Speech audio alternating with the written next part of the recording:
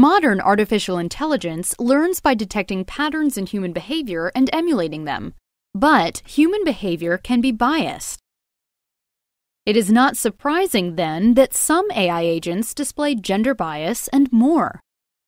This should concern us as we begin using AI to make decisions that affect people.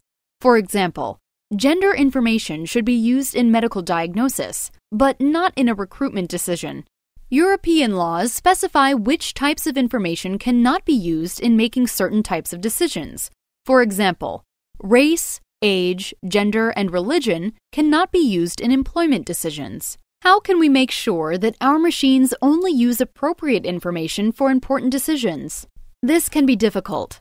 Protected personal information does not need to be explicit to become a problem. Your favorite sport might reveal your gender. Researchers at the University of Bristol have studied biases implicit in AI models and proposed methods to remove them. These are early days, but fairness will be an important direction of research in AI for years to come. We want the decisions of AI to be right for the right reasons.